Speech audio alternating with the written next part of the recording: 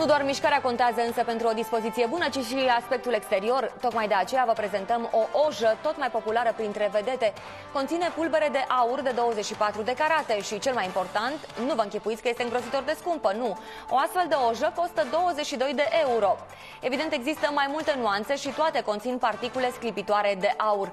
Vedetele care au deja o obsesie pentru acest produs de înfrumusețare sunt Lady Gaga și Reese Witherspoon.